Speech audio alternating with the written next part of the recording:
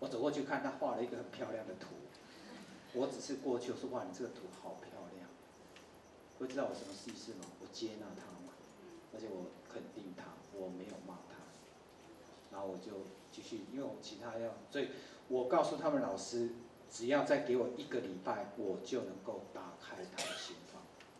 但是我相信李崇建一节课就可以了，但是段数不一样嘛哈，所以各位要来哦。OK。对对，四月志军老师会在。我要确认一下日期。那个四月份有一个礼拜三，那个志军老师在福源国小一整天，早上观课，下午义课。很好哈，因为以前是我全台湾跑，现在换他们跑，我就告诉他们保重身体。OK，老师还有吗？老师，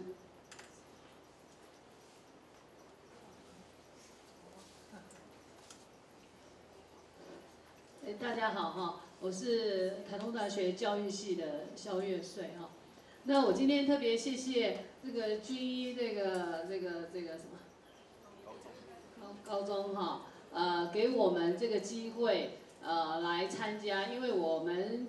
教育系一年级的学生，还有三年级的学生，啊，能够参与这个活动，我觉得这个非常难得，也谢谢慧茹老师哈，啊，大力的协助，让我们能参加。因为我觉得这个活动，其实我觉得是激发我们学生，特别是一年级的学生教育热忱很好的一个机会，啊，所以我希望他们除了来学一些教学理念，也学一些教，能够激发他们教育的热忱。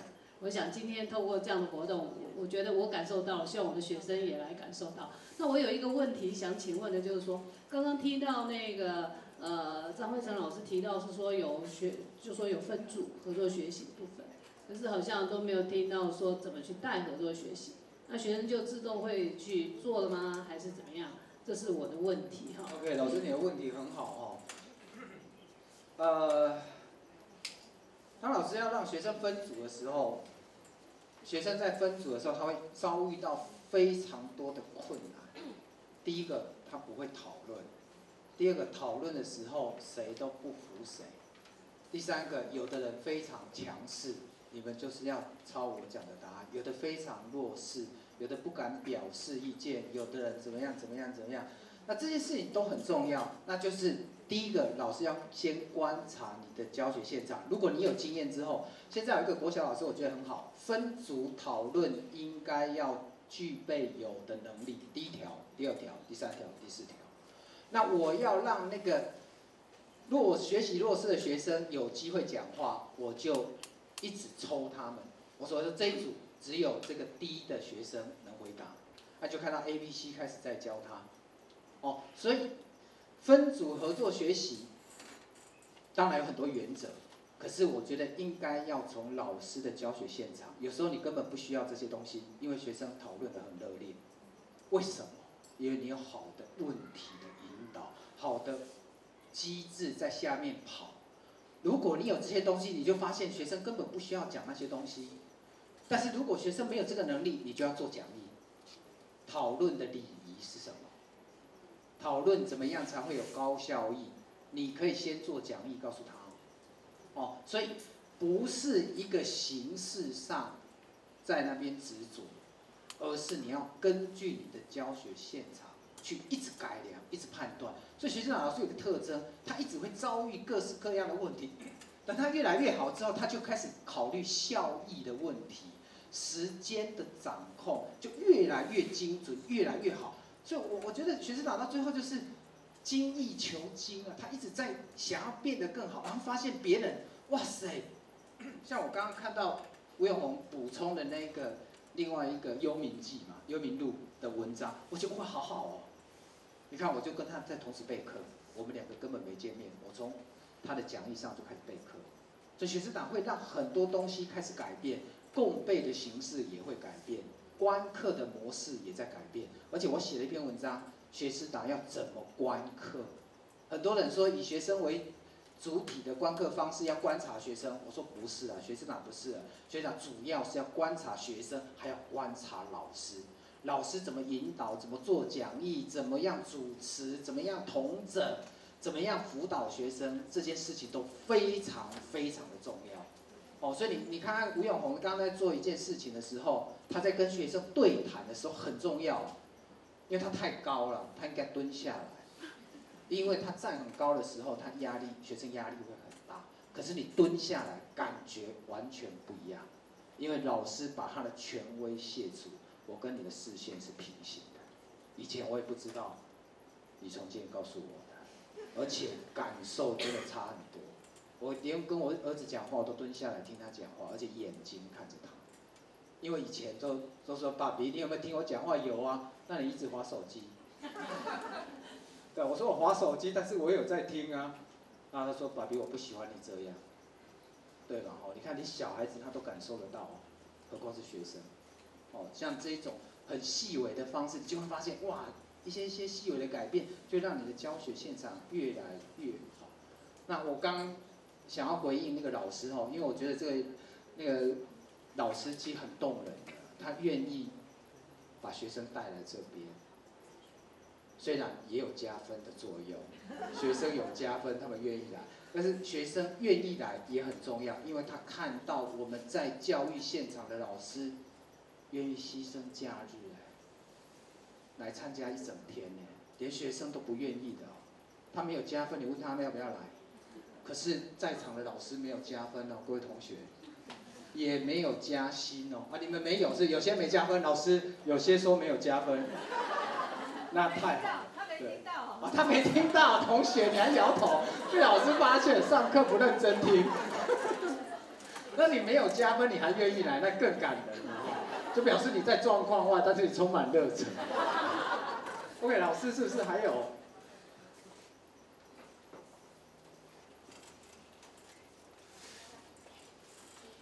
大家好，我是大王谷中王进学。我本来是要问一个问题，我大概做，呃，学师达大概几个月？那我遇到状况，遇到状况就是学生不讨论。那刚刚跟我们讨论的，呃，的过程中，我已经得到答案。那我很好奇，你的答案是什么？打开他的心，然后就是把整个都把它调。是，把什么都好？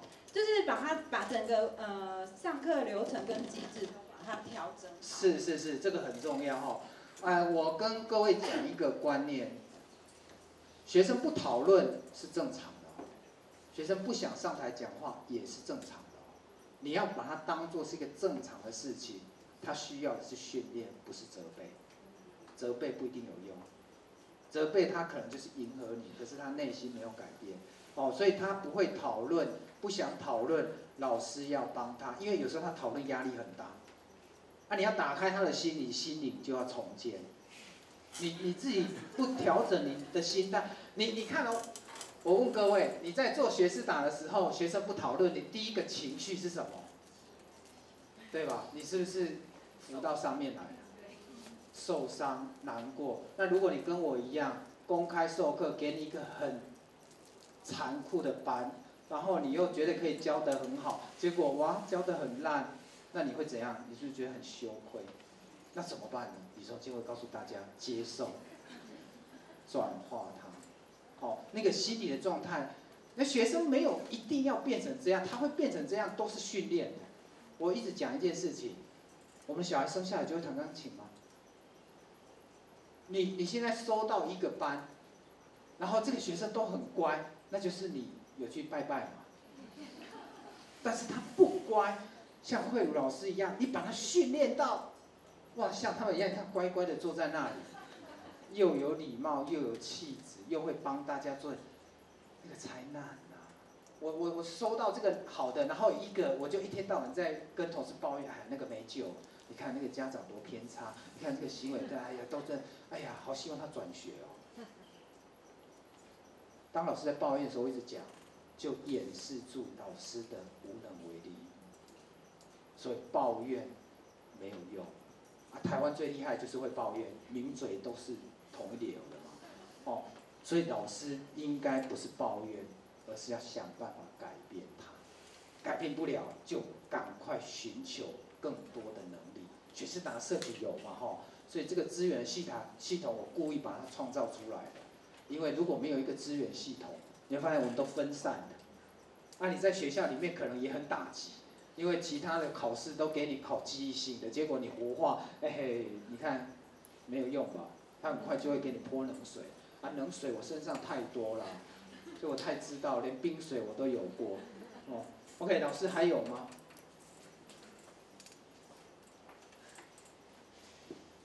老师你好，那呃，大家好，其实我们的就是我们呃的身份有点不太一样，其实我现在是学生，那我们三个是从东华大学，就是今天早上来的，那会知道这个讯息是因为就是室友，然后因为我们都有说教程，所以就就来到这个现场。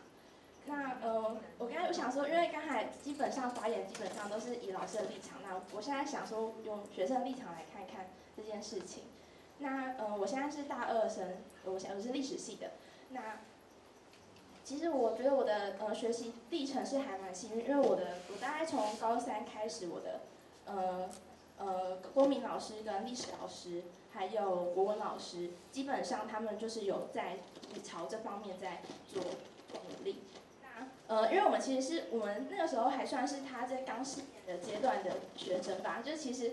呃，课堂上也会有遇到，其实刚才老师讲的那些问题，我都非常的就是历历在目，就是就是同学们不想讨论，然后呃，就是那时候带讨论什么，就是不是每个人都会参与，就是是有些人会参与，那就是其实小组之间很神奇，就是它会形成一套机制，就是突那个呃那群学生里面就会有人就会开始，就是他会有领导特质，那我觉得那都是需要时间来培养，因为我的高中同学现在毕业之后，其实。大家很多在大学里面就是还蛮有想法，就是都知道说要怎么去做。对，那我觉得那个有时候可能是，如果是在现场，老师就是比较看不到的部分，就是如果没有在跟那个学生有联系的，那其实我觉得其实这条路是对于学生是很好，因为我觉得我现在走过来就是有这样子的训练之后，我觉得我在大学里面是有很多的，就是比较方，就是有比较知道该怎么做的方法。我觉得那些知识其实是其次，但是你要知道怎么学事情的方法才是根本。而且觉得如果可以，就是一个老师如果可以教给学生这些能力的话，我觉得是作为一个老师就是很棒的一个部分。对。哇塞，我们好感动啊！我我我们真的不是不是关起门来自嗨。我觉得学生的见证是最感人。我我很想要告诉这个学生，他今天愿意结伴从花莲到台东来参加这个活动，我就觉得学士党成功了。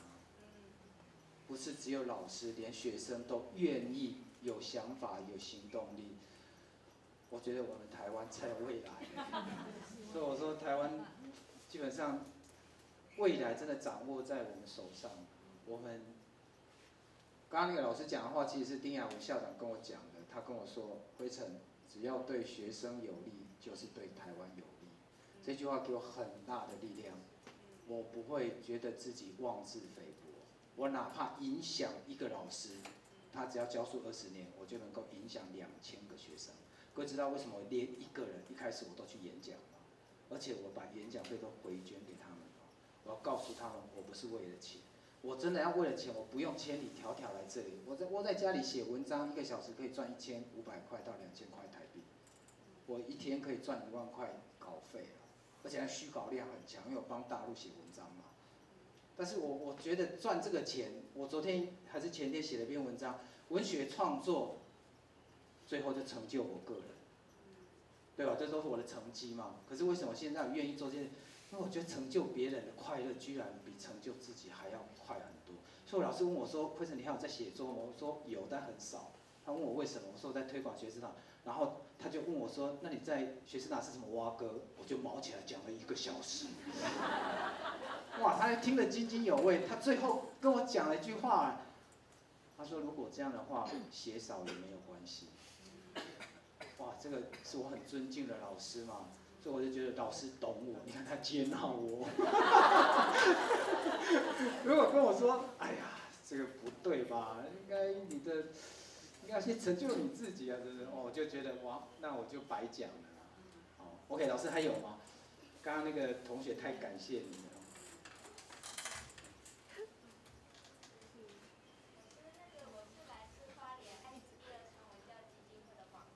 是。那我们基金会在。OK，老师你等一下哈，那边听得到吗？听不到吗？哈，为什么要拿麦克风？各位知道吗？因为他们等一下就会聊天。所以麻烦老师用麦克风。喂，我再重复一声哈，我是来自花莲爱心第二村文教基金会的黄琪。那我们这个基金会在花莲也做了十多年的时间，我们是在做课后辅导、生命教育，还有才艺学校等等。那我今天来，我其实对学思达也是第一次接触，第一次听到。只是说我们，因为我们其实我们虽然做这个文教也是做了十多年，可是其实也一直在摸索，一直在思考说文教这条路我们到底要怎么走，哦，应该要教孩子什么东西。那我觉得今天真的得到一些启发。那我想问的是说，因为其实很感动啊，很多东西，因为比如说怎么样思考能力、思辨能力，哈，我们的这个。要怎么评鉴等等能力，老师，这个对我来说，我都觉得真的是最重要的。那我只是想请问说，哎，我也很想要去观课，很想要看这些开放课程，不晓得花莲有没有这些课？OK，花莲有一个老师叫做江泽伟吧，昨天还我们在台北碰面，他他在花莲已经开放教室，所以您可以去那边，他是国小，而且他结合着军医教育平台跟学士达。因为我自己也有上课，我我除了自己做那个行政之外，晚上有带孩子，那我也很想去学学。是在，那我上网是都可以查到时间跟地点吗？打江是那个江水的江，哲学的哲，为是呃那个老师知道吗？好，慧老师你再跟他讲。好啊，谢谢。是是是。那我我觉得为什么我们要把？我的目标十年后台湾，我的目标哈六百二十五间开放教室，怎么算出来的？就是每个县市都有，然后每一科都有，国小、国中、高中都有。那现在有几间？五十五间，两年半。那为什么它到最后会变成大爆发？现在还在闷烧，因为有些老师做，但他不敢开放教室，他对自己没有信心。什么时候会有信心？像慧颖老师就会越来越信，因为他考试成绩越来越好。然后他的上课状态很好，他就慢慢会自然而然想要开放教室。像那个台东中学那个罗胜吉老师，今天好像有来，他已经开放教室了，他已经开放很久了。哦，他的最大困扰是来的人很少，所以各位可以就近去看，台东就有。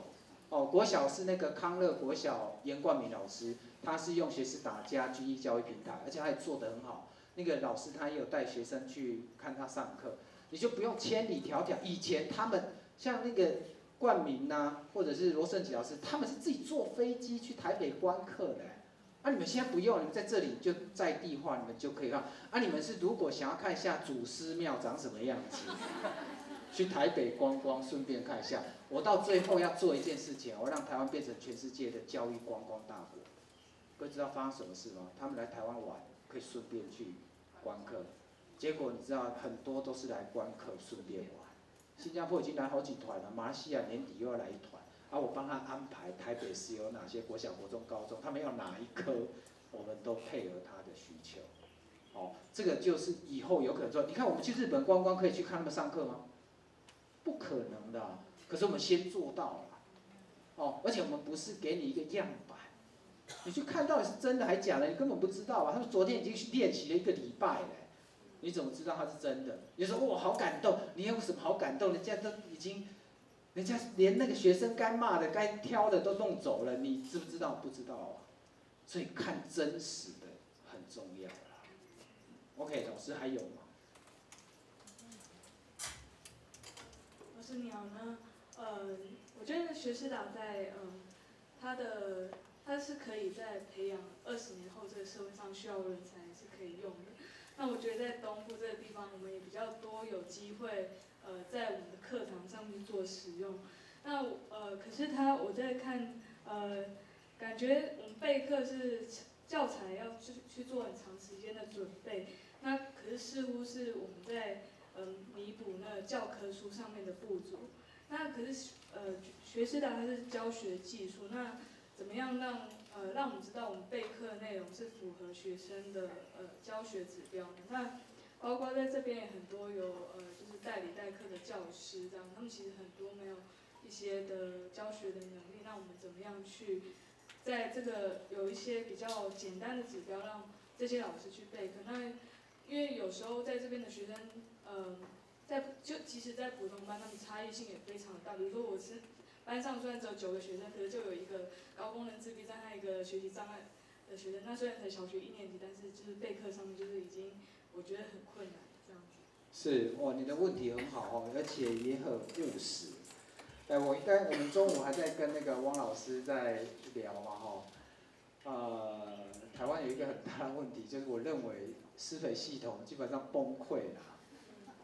它的崩溃来自于它没有在四年的施肥系统里面告诉学生他以后的教材的处理，有些有，但绝大部分没有，因为教授最擅长是理论啊，还有他自己研究的方面，他其实不太，他觉得那个东西是小道。啊，我们大学训练训练是要让你变成一个研究人才，所以我们学生训练出来之后，哇，他只会考试，然后他有教学技术吗？好像也不太会。所以你看你的问题出现在，好像也不太会教书，备课能力也不好。哦，那好像要进入学士大更难一样。哦，应该反过来这样讲，去填鸭相对还更难，因为你要从头讲到尾。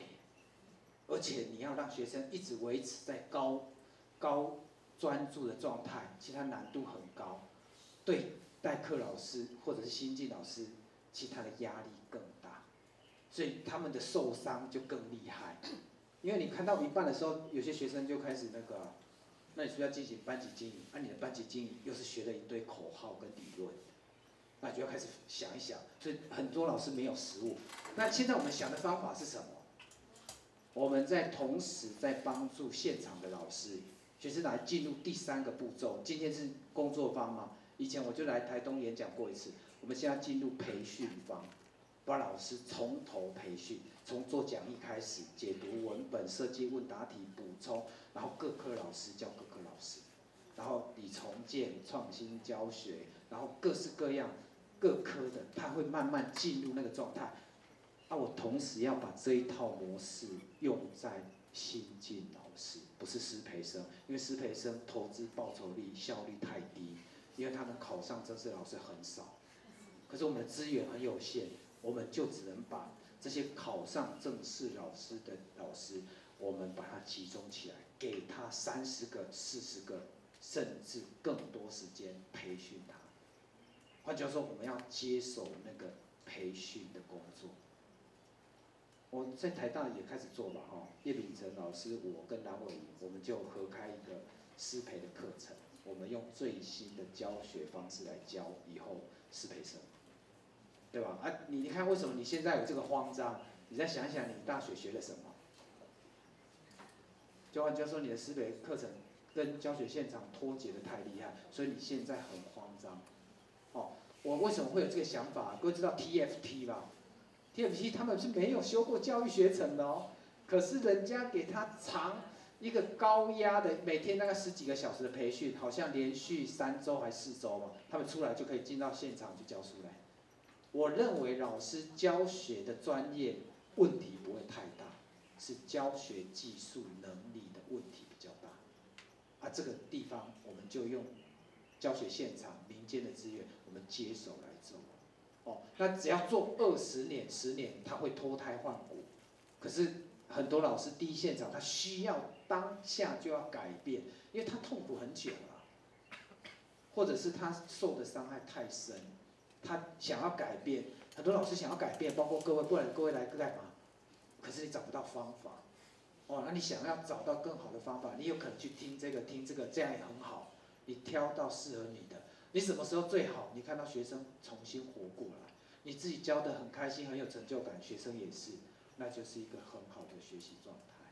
你每天都很兴奋的在做讲义，不计代价哦。我我的学校老师就问说：“哎，辉成，你是要出参考书是吧？怎么投入了这么多？”我说：“没有，这个都没有钱可以赚的。”那说你干嘛做这个？我说我，可是我赚到好多快乐哦。我每次做完讲义，我都好嗨哦！哇塞，怎么有这么聪明的人可以想出这么好的题目？然后我就很期待学生会回答出来。结果学长回之后回出来，他们就告诉老师这个题目好烂，我就受到很大伤，而且赶快改。对吧？然后我发现有些学生我注解了，他还是看不懂，我就在修，哎呀我就一直在进步，一直在进步啊！我就读到新的东西，我想哇，这个用到哪一课可以用？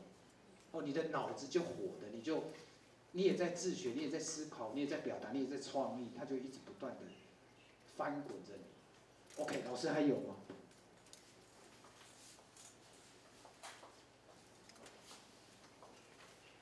呃，大家好。那今天的那个研习啊，就是比较偏，就让我感觉像比较偏重文科的。那因为我目前有在上那个国小的那个数学补教教学，那我比较好奇的是，如果是老师的话，会怎么样去做数学方面的讲 OK，老师你的问题很好，慧茹老师可以回答。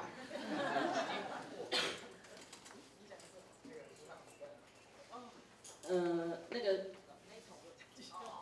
但没有关系。其实我可以分享一下，就是你知道学习的能力可以迁移，对，像他们最近面对最大的困难就是我们的英文。其实我们模拟考下来 C 的人数都很少，都个个位数，就像国两三个，真的很恐怖。然后，但是我们呃决定要重新弄这个英文的时候，然后我们就开始想要做什么这样子。那他们现在下来就是先，他们他们就会把我们在学其他科的方法应用到那边去。那因为数理科它其实也需要一个引导。那呃，福堂老师，其实我我我那为什么那时候找他的原因，是因为我知道他的上课是非常结构化的。对，那一个很有清晰跟结构化的那个思考的历程，其实会帮助那个学生他在这个地方真的就是学会。那以我们自己在做的时候，其实我们都会做两件事情，就是我今天，比如说我在想教材的时候，我都会想说，哎，我现在问了十个问题，这个十个问题到底有没有关系？然后课我问完这个十个问题的时候，学生我他盖上课本之后，他记得什么？然后我们最常做那个动作就是课本。盖上，盖上之后就是他们当然他们现在训练过很习惯性的动作，就是会赶快把课文背出来。可那个背其实并不是说哦，我现在硬背，因为以前我看我学生背一整天也背不起来，背两天三天也背不起来，就一直一直在重复做这个事情。然后他们现在很快，一分钟两分钟他就处理掉了。为什么？因为他在过程当中他是有结构性的做。对，那数学其实也是一样的道理，就是以前被批评的。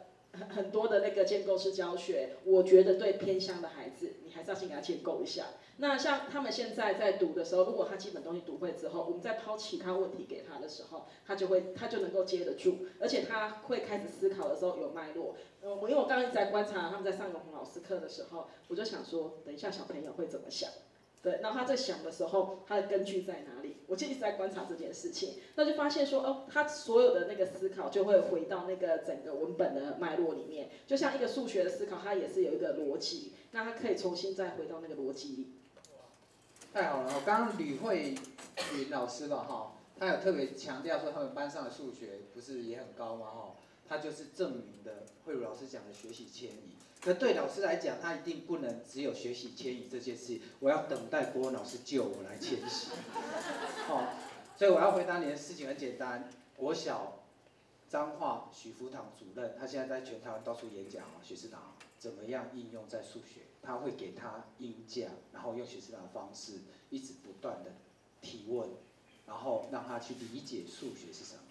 国中，台北市有两个哦，高中。我的班上的数学老师都开放教室，换句话说，小学国文学学师打一贯，十二年一贯，数学现在也一贯哦，英文，呃，现在缺一个高中开放教室，国小、国中都开放教室了，我要让他全部都一贯，所以您遇到的问题，现在有徐富堂老师会解决，他已经来台东演讲过了哦。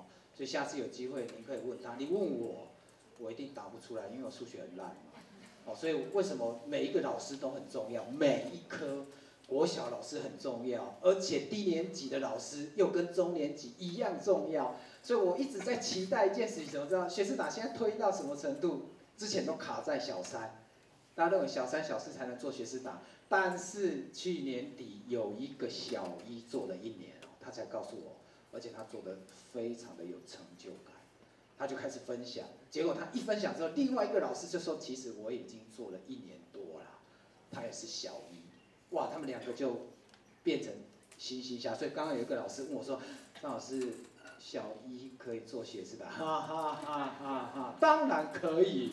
我就告诉他哪一个人，你去问他，他写了很多文章，你会分享的。结果前几天我要来的时候，哇塞，英歌有一个幼儿园学校，全校在推学士达幼儿园哦。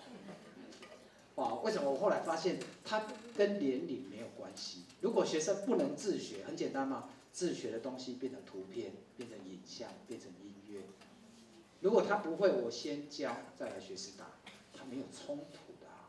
所以自学材料不一定是文字啊。那小孩要不要表达？当然需要啊。他需要表达，他要不要思考？当然可以思考。那为什么不让他思考？是老师、家长认为他不会思考，不是，他很会思考的啦。OK，老师还有吗？风姐，我们现在五点了吗？那 我们是几点？但现在几点了？哇塞，那如果各位有有有急事的可以先走哦，我们可以讲到六点五十，因为我的飞机是六点五十。大家好，我是来自中华大学历史系的学生，就是我们三个一起过来的。那我想要请问老师的是，因为我这次去。我没有教学经验，可是我有去过营队带小朋友。我发现台北有一个很可怕的现象，就是教学都以家长为导向，就这样说什么老师就做什么，因为他怕怕被骂，然后怕被这样指责，甚至连暴凌事霸凌事件都是以家长说要责怪哪个学生，然后他们可能去没有老师没有做处理，可是老师回了一句，外国的老师回了一句说这些老师懂教，就是这些这样懂教育吗？所以很好奇在推学生达的时候，我相信一定会有很多这样反弹，觉得说。就是已经完全跳脱以前家长所灌输到的模式，但我很想很好奇，老师们是怎么处理家长的反弹，然后让学生可以在安心的环境下学习。OK，你这个问题问得很好哦。他如果当你在孤军奋战的时候，必然会遭遇的问题。呃，我是后来回避的这个问题啊，我是先克服再回避嘛。我所谓的回避，是我创造出没有亲师冲突的状态。就我刚刚讲，我创造出一个学士达专班，而且你是认同你才来报，我要让这个力量越变越大，就不会老师还要这样。各位知道我的数学老师，他去年同时教两个班，一个文组一个理组，那理组大反弹，而且那个家长来跟他破口大骂，那他就，而且这个家长希望学校换掉他。学校的底线就是不能换老师，哇！最后他就被迫改回来传统的教学，然后另外一班呢，他就继续用学生党方式一直上。各位知道，学测考完，他教的学那个社会组那一班是全校第二名哦，然后那个理组就一般，那他才会有一个很大的信心嘛。哦，那可是只有一个家长就可以搞成这个样子哦。所以怎么办呢？有一个很简单的方法，我以前做的方式哈，我就邀请他们来观课嘛。我说你来观课，所以会来观课，各位知道谁吗？就是加社经背景比较好的吧，不然他有空闲来观课啊，对吧？啊，他来，第一个来的就是我们班的一个家长，是个律师啊。他看完之后，他就跟我讲：哇，张老师，我看你上课很轻松啊。但是我相信你一定花五倍到十倍的时间在备课。我心里面说：“You got it。”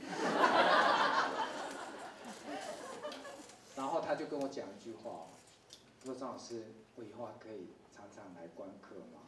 我说：“好啊，因为我高中国文都在睡觉。”而且他是家长代表，我还要跟家长游说。所以他在家其实做完会了，他就说：“哎呀，你要知道你们小孩能够进这个班，是你们上辈子烧香那人家不一定哦，你知道吗？哎，他就帮你做最好的宣传。那如果你真的遇到那种不讲理，你有时候不能怪他。为什么？因为他的他的他的过去的经验就是传统的填鸭。”分数至上，有很多学生也很在乎分数了，家长很在，啊，你不是怪他，而是沟通又来了，又回到沟通。这时候来家长跟你咆哮的时候，我也要跟他咆哮了，因为他指责我嘛，我就很快要开始封闭，所以李重建很重要吧。家长反弹的时候怎么办？你不是跟他破口大骂、沟通啊，对吧？啊，有时候他会这样子，他背后有原因的。他以前受过伤，他以前有老师这样子做，结果他受的伤很深，受害很大。啊，你不知道原因，你就看到行为。哦，所以老师跟家长之间的沟通，它的难度比你跟学生的沟通还难，尤其是特殊的家长。所以不要去怪家长，我一直讲，家长有任何问题，就是要面对他，想办法解决，而不是一直怪恐龙家长，神经病啊，我好衰啊，没有用，想办法去改变他。哦，所以怎么样创造出一个亲师师生共赢的？就你只要进入那一个模式，我跟你讲很迷人的，就算有家长反对你，你知道哦。有一群更大的力量会来帮你，而现在最怕是什么？一个人结合两个、三个，变成一个小团体，然后其他人变成沉默不说话。那个时候老师最伤，因为你就发现你就是他们炮火的对象，而且你孤立无援，大家都冷眼旁观。那好一点的，还你被骂完之后，他们还写信安慰你。你就会想说，那你为什么那时候不讲话？对吧？所以老师的那个稳定性，我那时候有一个好处，就是人家骂我之后，我就讲不出话来，因为我我就很生气。可是我如果讲得出话来，也不会是讲好话，所以我很感谢我讲不出话。哦，可是这样是不对的，你那时候的应对能力就很重要。哦，OK。可不可以回忆一下下？是是是。哎，我想回忆一下下这个问题哈。我想，如果家长会知道你的教学上面有问题，我想应该要思考，其实他怎么知道这样的一个问题？他都在家里面，好，他都在家里面，然后他也都没有来过学校，为什么他会觉得你教的不好？觉得怎么样？那我觉得，我想这个资源，他的资讯来自于谁？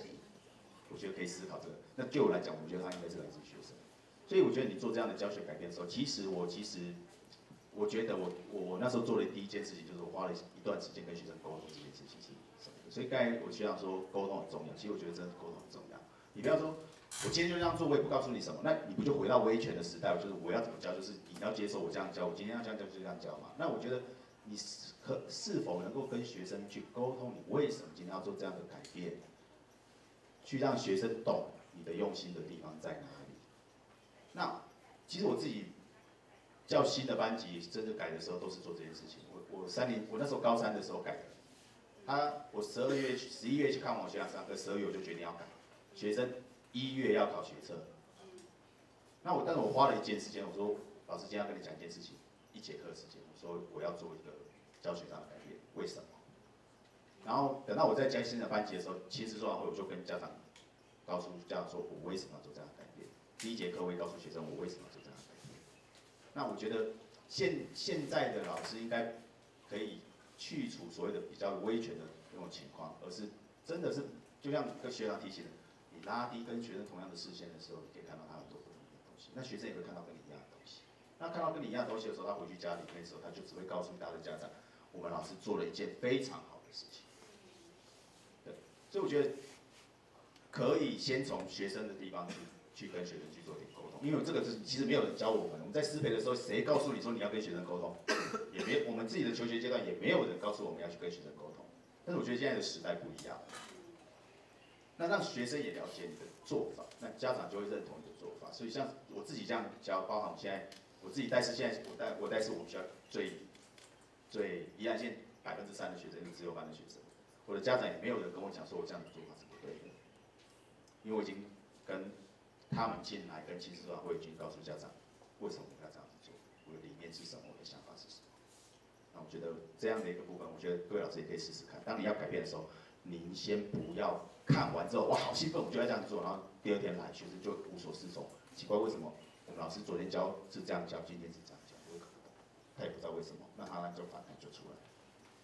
那你何妨花一点时间跟他讲讲讲话，那也是一种班级经营。感谢谢大家。OK 哈、呃，要跟家长沟通，学士达已经帮各位准备好了。第一个，我有三分钟的那个影片可以放给家长看。如果想要看多一点，有 TED 的演讲是八分钟，为什么要改变？改变成这样。第二个，呃，网络上有好几个老师分享其实座谈会的时候，让家长学士达。给他们资料，让他们读，让他们就告诉他，你的小孩以后就这样，为什么要这样子做？他们都有，甚至连他们写给家长的信都有，你把名字改掉就好。为什么？我要告诉他们，你要把东西分享出来，降低门槛。所以你做了很好的亲，所以他们那些那个老师说，我从来没有开过这么和谐、这么快乐、这么愉快的亲子座谈会。为什么？因为家长不知道。什么是学士达嘛？你要他不知道是正常，你不能怪他。你有机，你有机会，你有义务要训练他嘛？你有义务要告诉他怎么样？那你怎么样证明你可以来教室观课呢？你看看你的小孩在学校的状态，你以前都不行，那好像禁地一样，但现在可以了，眼见为凭。老师最后一个问题好了，最后一个。嗯，各位老师。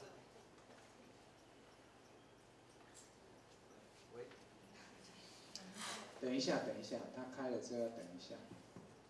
嗯，各位老师好，大家平安。那个我是海端国小的林老师，那我有一件问题想请教一下，因为随着现在的学士达工作坊呢，就是教室越来越多的量被开放了，那它的值上面去做的，它的值要怎么做一个管理？因为像我自己是一个没有教学专业的一个背景，然后就进入到教学现场，所以一开始在授课的时候也是用那种传统的填鸭式的教授方式，那其实一一开始就很挫很多挫折。那后来有机会，只是网络上搜寻到学士达，那开始做一点点的学士达初探，才发现说，哎，这个就是蛮有果效的一个教学方式。但是，在网络上有看到一些老师的讨论，可能是求好心切，就是可能说他们在执行的时候，可能给学生过多的资资讯，然后变成说学变成是学生的困扰或是家长的困扰。那其实自己想问的是说，在怎样的检视，有没有怎么样的标准可以检视自己在执行学士达过程上面的一个标准？或者说我现在在走的到底有没有符合学士达的理念？这样。OK，你这个是很好的问题然后这是以后我要做的事情，因为现在量那么少，你要去求职有点怪了哦。呃，高雄市现在在做这件事情，学士达认证。因为什么他可以做？因为他量很大。他上次局长告诉我说，他做了一个统计，你看局长最爱做统计的哈，在学校做学士达老师有多少？七百个。我不是讲过吗？前年有一千两百个老师嘛哈。我相信台东应该不会超过二十个吧，应该不会超过，我猜了哈。那等到他七百的时候，他去要求值，我就觉得有道理。当只有二十个的时候，我觉得那个有勇气开放，我都已经珍惜的不得了。哪怕你去看到一个教学现场，它惨不忍睹，它都很重要。为什么？各位知道，我讲过了，学生讲错也有价值嘛。我才想，哇，那我不能变成这样，对吧？我看为什么会变成这样，这对你都有。你看他愿意让你进去看一个惨不忍睹的现场，这老师多勇敢。当然他不会让你看到惨不忍睹，你会看到哦，原来他做的哪里跟我不一样。那那好的我就学，不好的我就想办法怎么改变它。你看又来了，我怎么样避免这种状况在我的教室现场出现？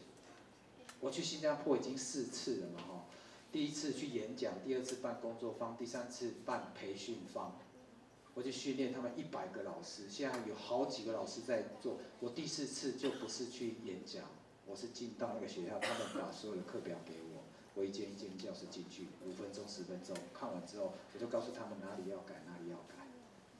你看他们就出现一个问题，很妙，当学生在讨论，是不是越来越大声？然后要抽学生上来，下面是不是还在聊天？那老师就一个老师就会说嘘，嘘，哇！我帮他算了几次，大概二三十次，一直虚啊。那你看那个感觉，学生一定很不好。那另外一个就会变成安静，安静，安静。那怎么办？另外一个老师我觉得超赞。你看哦，大家一直讲话，就开始哦，木头人，我马上就安静哎。然后如果没安静呢，这一组就没有加分，其他组都加分。木头人，然后就开始讲话了。你看，那我就说，我就很好奇问这个老师说，你为什么会想到？他说一开始我也觉得好烦，每次都这样安静，可他们很嗨嘛。他们不是在聊天哦，他们是讨论到很嗨，静不下。那我就想一个法子，你看来了，想一个法子，怎么样快速让他？那你看到，如果我没有去他的教室看，我就不知道他想出的这个法子。而这个老师也不觉得这个法子有多么了不起，但是他解决了很多老师共同的困难。就他的动静动静之间的切换。很快就非常的流畅，不信你试看看，你到后来会很烦。我叫学生安静，可是他们很认真在讨论，就静不下来，你就又嗯，心情又被卖。啊，如果后面有观课老师更卖。哦，所以那为什么要去观课？我看到好的我就学，看到不好的我怎么避免？所以看新加坡他们有一个 A B C D 的那个字卡，我还拍下来，他让学生。练习考题，而不想要让他们自己在那边写。那这一题的答案是多少？大家就把 A 全部拿出来。你看，我就可以看到学生的学习状况，对吧？哦，啊，还有学生有状况是红绿灯。